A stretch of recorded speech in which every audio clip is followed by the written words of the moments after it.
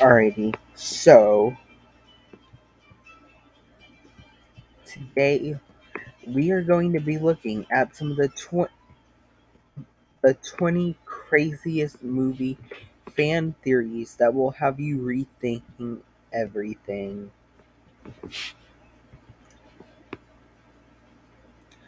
First of all, we have the movie Titanic. Everyone knows this iconic James Cameron movie inspired by the ill fated voyage of the Titanic in the early 20th century. The romantic story of Rose and Jack did earn the movie 11 Academy Award wins after all. But did you know also know there's a particularly wild theory about none other than the film's swoon worthy protagonist, Jack Dawson. Ooh, but what is it? Theory Jack Dawson is a time traveler. Um,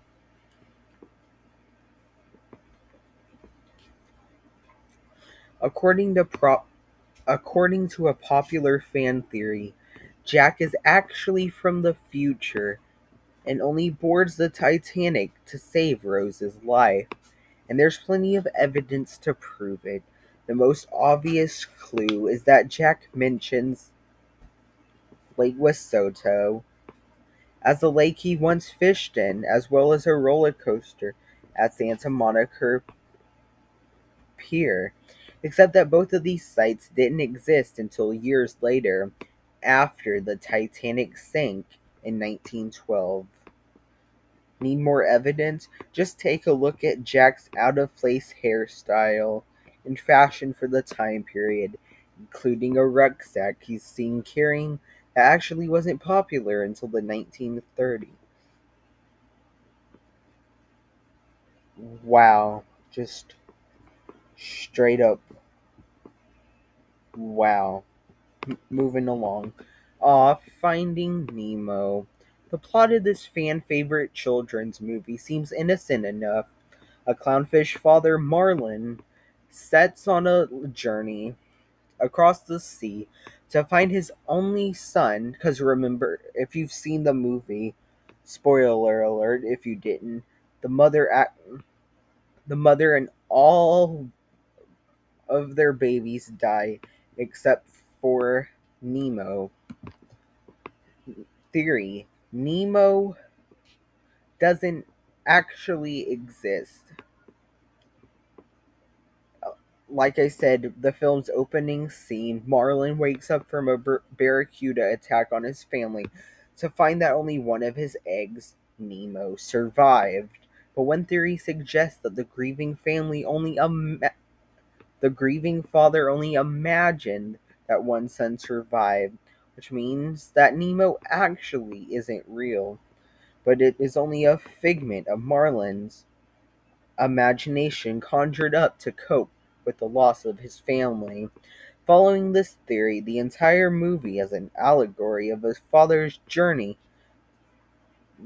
through the five stages of grief, as many fans suggest. And the kicker Nemo actually means nobody in Latin and we have the movie Grease. Grease is everyone's favorite musical film. Not mine. It has everything from great costume, no, it doesn't, to lovable characters, M- maybe, plus a ton of really fun musical numbers.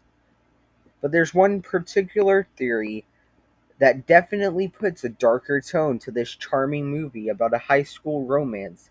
Can you guess what it is? Is someone secretly like dead or something? I don't know. Sandy dies at the beginning of the movie.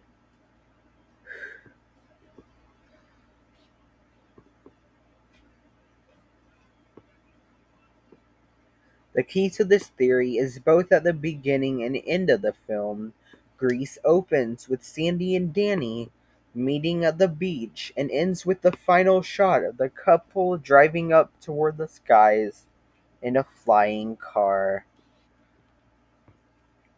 While one dark fan theory posits that Sandy actually drowned at the beach, er, er, and the entire movie is just a fantasy sequence playing in Sandy's head as she dies, with the last scene in the car signifying Sandy being sent up to heaven.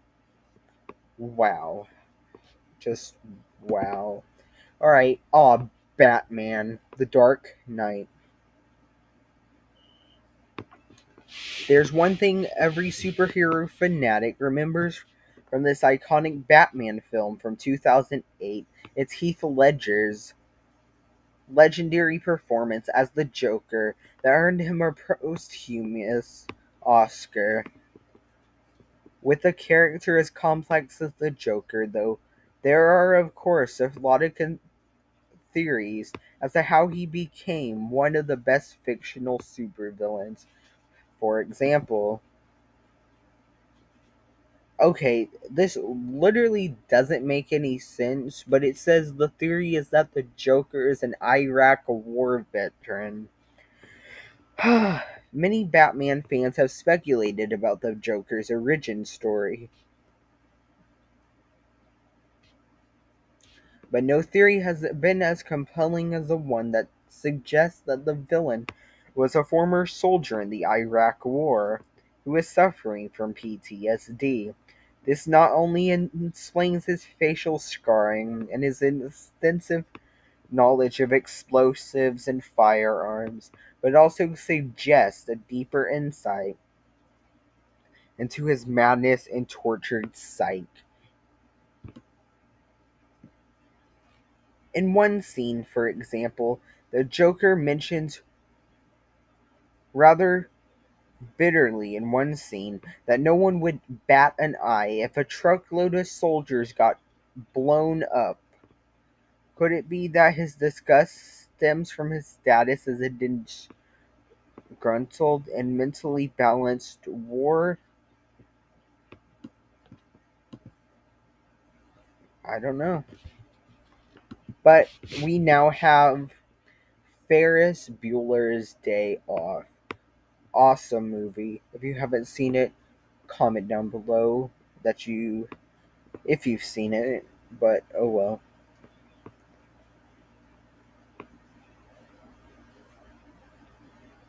If you loved 80s movies, you might remember this iconic John Hughes teen comedy about a high school senior who decides to play hooky from school.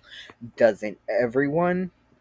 But have you ever thought about how, in spite of the title, the movie's emotional core actually relies not on the titular Ferris Bueller, but his best buddy Cameron?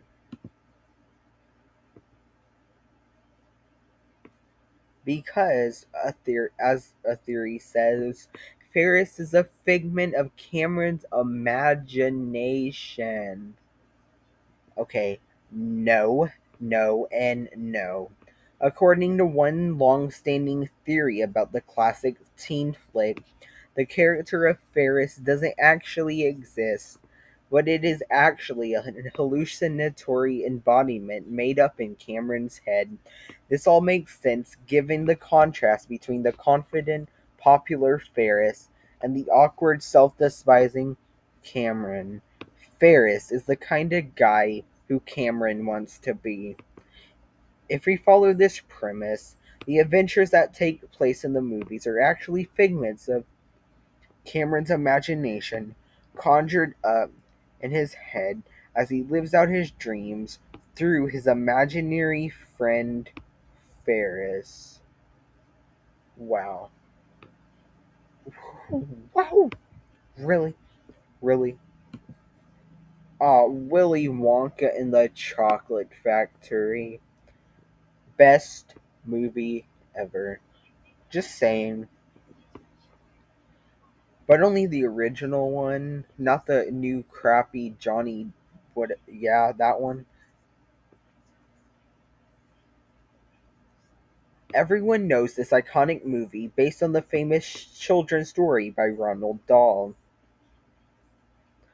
an eccentric chocolatier decides to give out golden tickets. Though I've always found Mr. Willy Wonka a little creepy. Like, But he, anyways, he gives out these golden tickets for five lucky children for an exclusive tour of his chocolate factory. But have you ever wondered if there's more to the mysterious character of Willy Wonka than meets the eye? Well, Willy Wonka is a serial killer.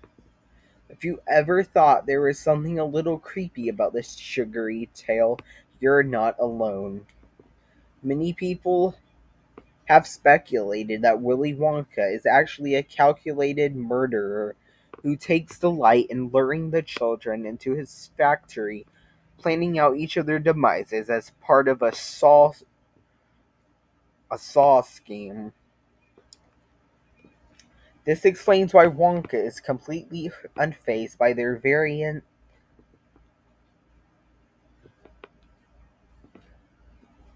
accidents through the film, and also why the Oompa Loompas are already re- ready with a pre prepared song and dance routine as each child faces their fate.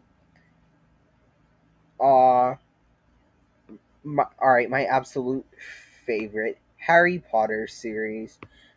Before we begin, I guess some of you know that I do, in fact, have a Harry Potter channel called Hufflepuff King.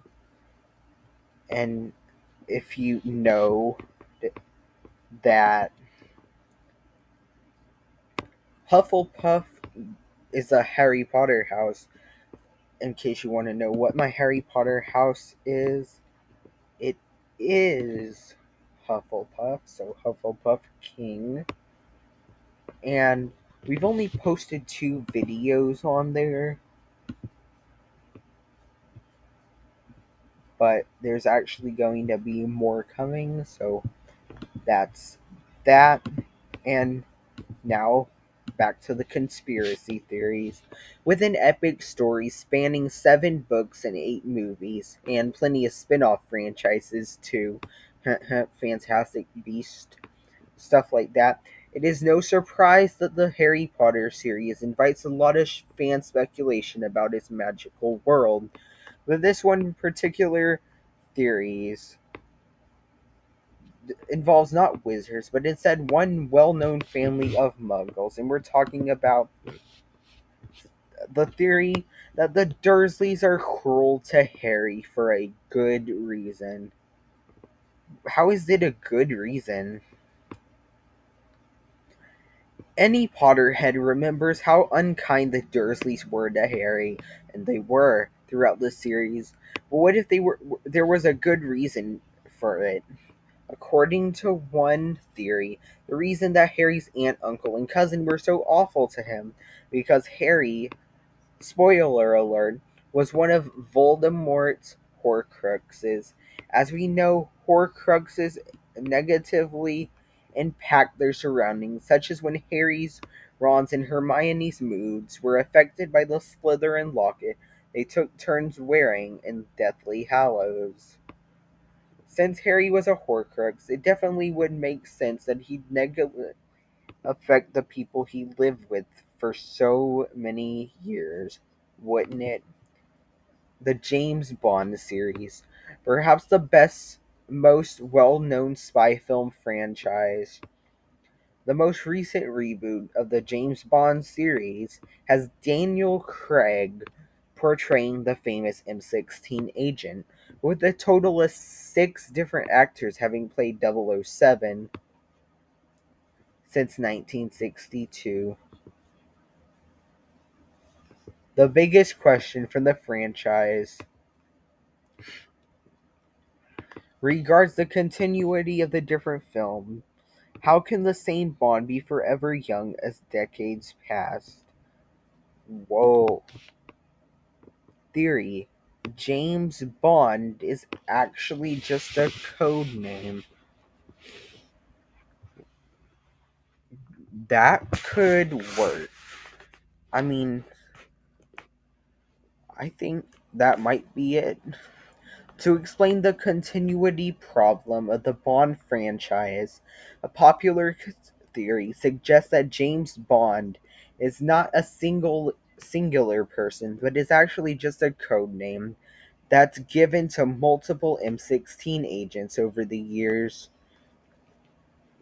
This would certainly certainly explain why the character's appearance, age, and even personality have all changed over the past 50 years, and why he never ages or dies after so many dangerous missions.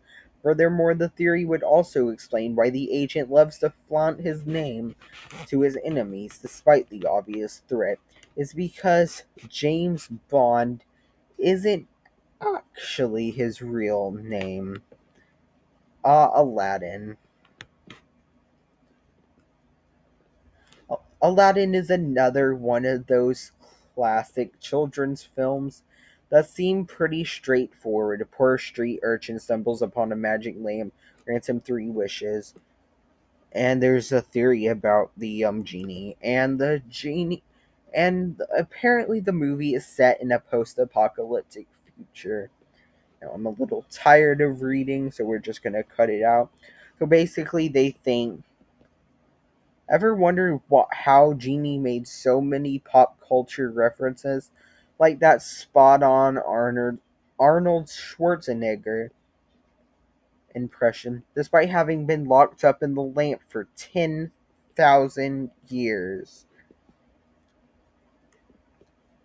One hypothesis suggests that actually Aladdin isn't set in the past, but set but actually set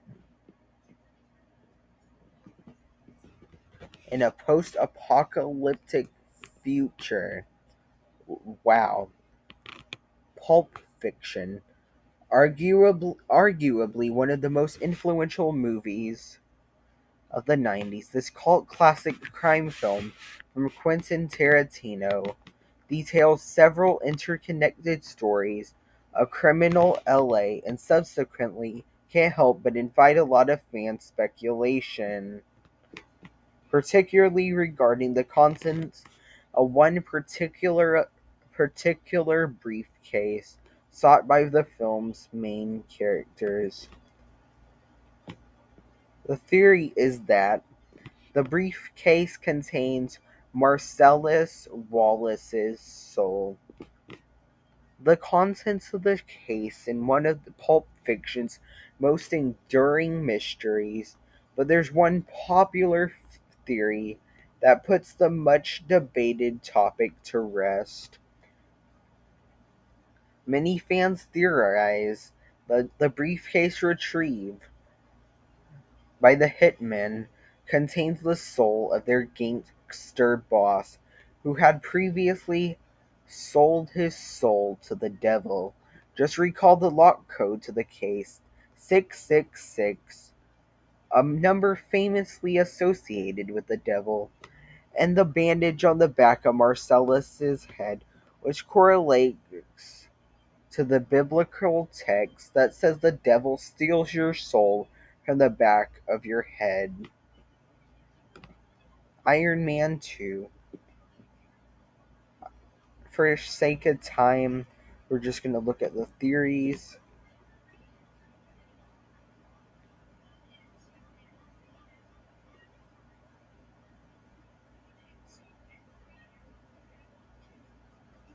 But, you know, but that the theory is that Peter Parker is the little kid in the mask. That's right. Many Marvel fans have long speculated that the little kid behind the mask that Iron Man saved at the Stark Expo is none other than Spider Man's Peter Parker. Never mind that Spider Man didn't officially enter the MCU until 2016. We all know that there is one there was a giant science in his hometown neighborhood of Queens. Young Peter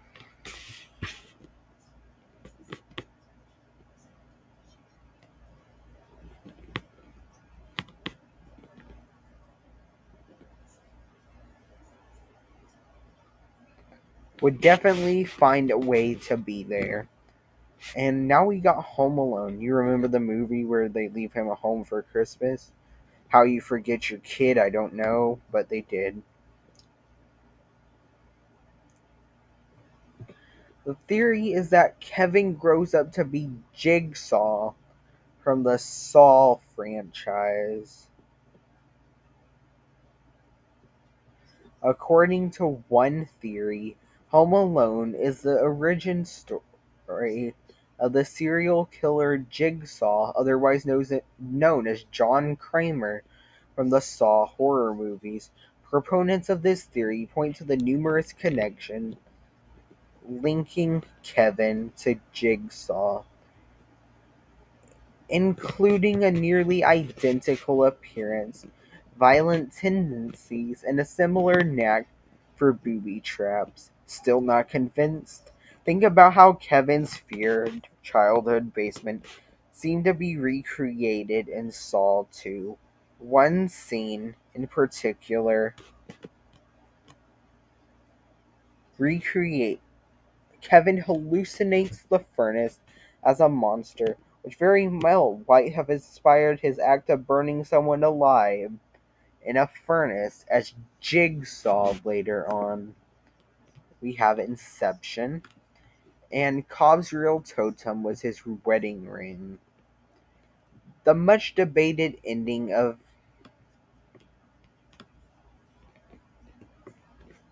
Inception revolves around the spinning top that Cobb uses a totem, which is an object that dreamers use to distinguish between reality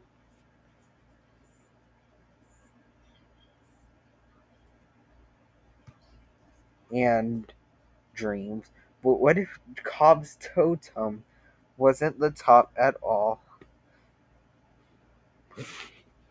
Instead of the top, one fan theory suggests that Cobb's true totem is actually his wedding ring. After all, he's seen wearing the ring in every sequence in which he's a dream, but not when he's awake. This would definitely solve the big movie's biggest mystery of whether Cobb is awake at the ending. He is, as his wedding ring is clearly absent in the very last scene. Ah, the Toy Story series.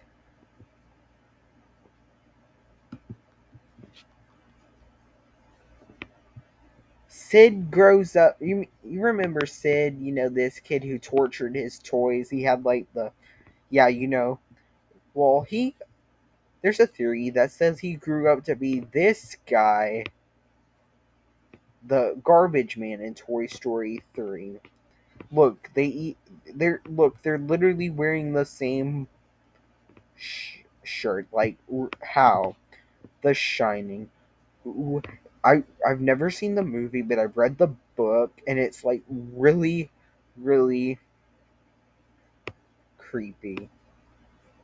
Okay, I don't like I don't know what's more scary him or her. Literally don't know. But, anyways, the movie is about faking the moon landing. How is it? This movie had nothing to even do with moon landings. Really? No. Consider the evidence. The film changes the haunted row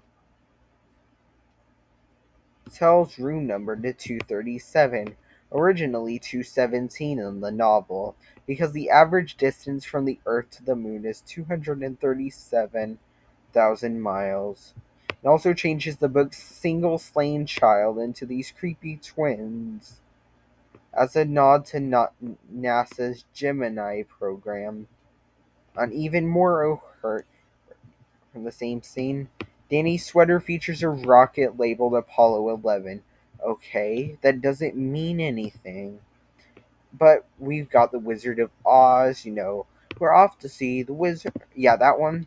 Dorothy is the Wicked Witch of the East. No, she's not.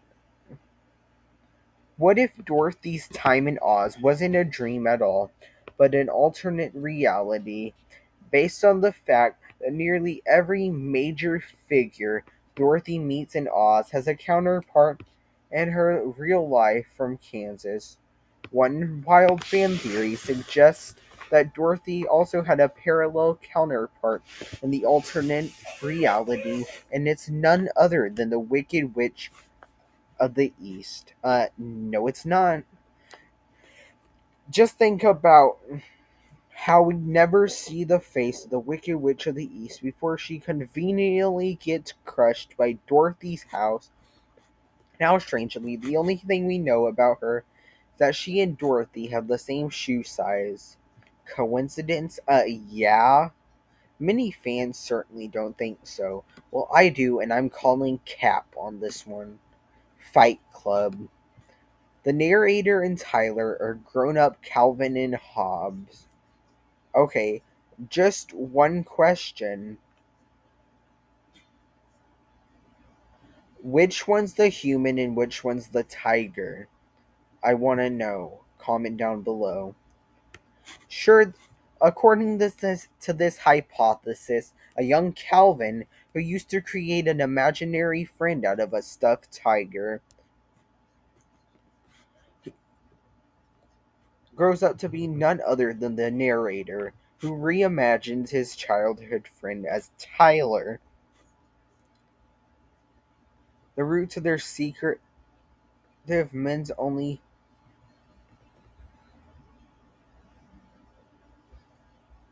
Fight Club, the exclusive boys only club in Calvin and Hobbes. Monsters Inc. The monsters are scared of the Black Death. Okay, okay. I can I really don't see what how how this is coming along, but let's see. Given the advanced tech of the Monsters Inc. world, it's safe to assume that the narrators have been traveling to the human world for a long time. One like say like since the Middle Ages, one fan theory suggests that the first time the monsters made contact with the human world was during the time of the Black Death. That's why the monsters are terrified of contact with humans to this day. Yeah, that sounds about right. I mean, that could be true. I'm definitely not calling cap on this one because this one might actually be the case. Random, but it could be the case. You know, it's I literally just watched this movie yesterday. We're talking about Back to the Future. Doc Brown was suicidal. That's depressing. Ever wonder why in one scene Doc Brown after talking about that his inventions never worked, puts himself directly in the path of the speeding DeLorean as he tests his time machine invention in the parking lot. While some fans speculate that Doc was actually ready to give it all up, including his own life. This particularly dark theory po- posits that Doc was depressed from his failures as an inventor and had chosen to take his life, though another through another one of his inventions that he expected to fail. But there's one other detail that makes the hypothesis even darker. Doc grabs Marty when he tries to run in that same scene leading fans to believe that it was actually a murder suicide attempt. Yeah, no, yeah, no, Doc, thank you. Jurassic Park. Steven Spielberg's an iconic film about dinosaurs.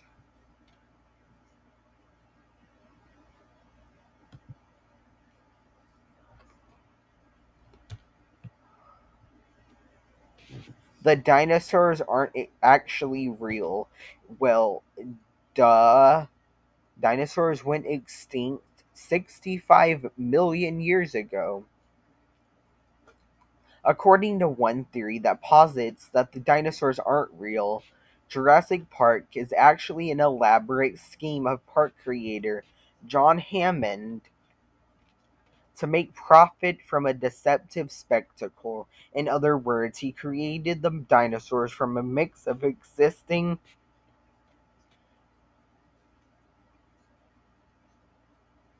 animal DNA into what people think they might look like. Not convinced? Just recall Hammond's speech about how he started his career with a flea circus designed to trick children, which certainly suggests that he has no problem earning his fortune on selling people false realities. Plus, the theory would definitely explain